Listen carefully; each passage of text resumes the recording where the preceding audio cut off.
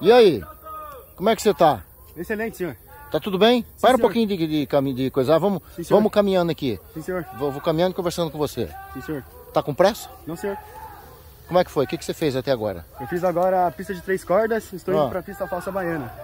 Agora você vai pra falsa baiana. Sim, senhor. O que, que é a falsa baiana? Ela é uma pista onde você vai de pé Ah. e vai se deslocando de forma lateral. Hum, Tem que, a gente tem que transpor o rio e chegar em segurança sem cair. do outro lado do obstáculo. Sim, senhor. E é o acampamento? Como é que tá o acampamento? O acampamento é excelente, senhor. Hoje é o último dia, a gente teve muita instrução, muita aprendizagem boa. Todo mundo da nossa bateria, bateria comando, tá indo muito bem, muito dedicado. E a gente está fazendo um ótimo acampamento.